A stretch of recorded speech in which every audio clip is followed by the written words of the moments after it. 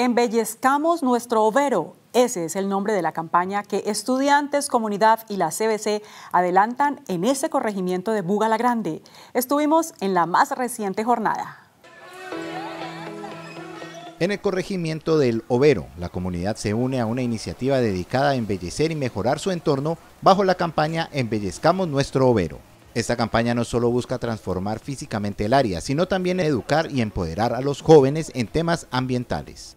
Esta campaña está enfocada especialmente entre los niños, niñas y jóvenes de este corregimiento, para que ellos saquen un proyecto que sea de ellos, que lo lideren ellos.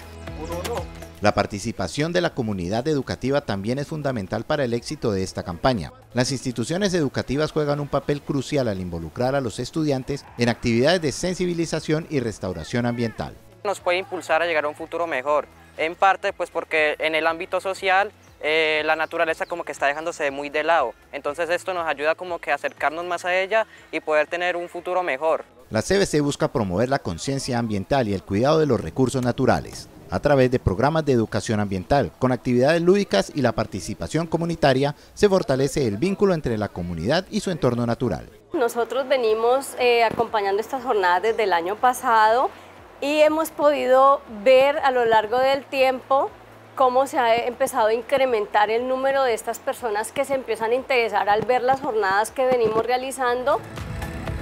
Además, como parte de sus planes futuros, la comunidad está entusiasmada con la idea de establecer un semillero con las semillas del árbol del ovo, un símbolo emblemático en la región. Vamos a hacer un semillero con este árbol porque este árbol está en vía de extinción. La CBC siempre se ha destacado como un aliado invaluable para estas iniciativas comunitarias. Su compromiso con la educación ambiental y la conservación de nuestros recursos naturales asegura que proyectos como Embellezcamos nuestro overo no solo sigan adelante, sino que también motiven a más comunidades a cuidar y proteger su entorno.